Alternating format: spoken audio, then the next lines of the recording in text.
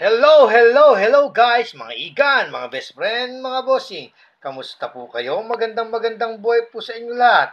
Okay po, tuloy na po tayo. Ito po ay natutungkol sa 2003 at 2004, 1 piso sa Rizal. E mangyari, biglang tumaas ang nito ha. Biglang tumaas ang presyo nitong 2003 at saka 2004. Ito pong 2003, yung ano po ah, yung non-magnetic. Yan, ito. Ito, ito yung magnet oh. Ito, non-magnetic to eh.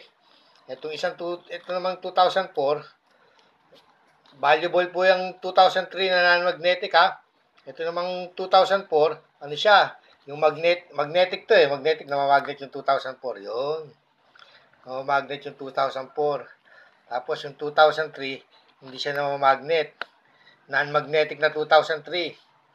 Yan, yan natin. Ang presyo po nitong 2003 na non-magnetic po ah, pumalo po siya ng ano, 500, 500 na po, halos 530. 530 po ang kanyang ano ah, ang kanyang, ito, 530 pesos yan, 530 pesos na po ang ano niyan ha. Ang presyo niyan ha, 530 pesos. Ito naman 2004, eh naglalaro po sa, ano, sa 336. Yan, 336 pesos. Ito, 336 pesos. Ito, 530 pesos po. Ayan, yung mga, ma, ma, kailangan makikinta ba? Makaayos po yung 2003. Yan. 2003 na piso, non-magnetic. Tsaka 2004, yan. Magnetic na kasi yung 2004 eh. Yan. Yun po ang aking impormasyong nakuha. O, checkin po natin sa may NGC ha.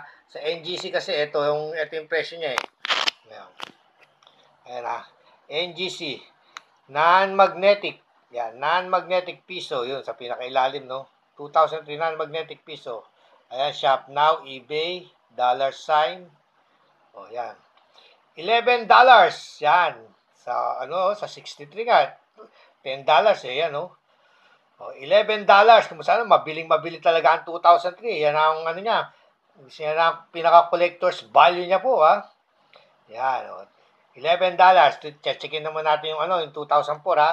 Yung 2004, 2003, yung 2004 naman. Yan, 2004. O, shop now. O. Ayan po, ang pinaka-presyo niya, $7. Yan.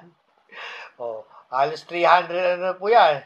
330, 336 pesos. Yan. Kung sa 50, 350. Eh, ano lang eh, 48 eh. 336 pesos ang ano yan, ang kanyang presyo. Ayan, oh, 2004 ha. Kitang-kita po sa orange. Ayan. Pumalo na yung kanyang presyo. Biglang tumaas na, naging favorite siya eh. Naging pabili eh, no? Ayan. 2003, non-magnetic. Yan. $11. Halos ano po yan ha?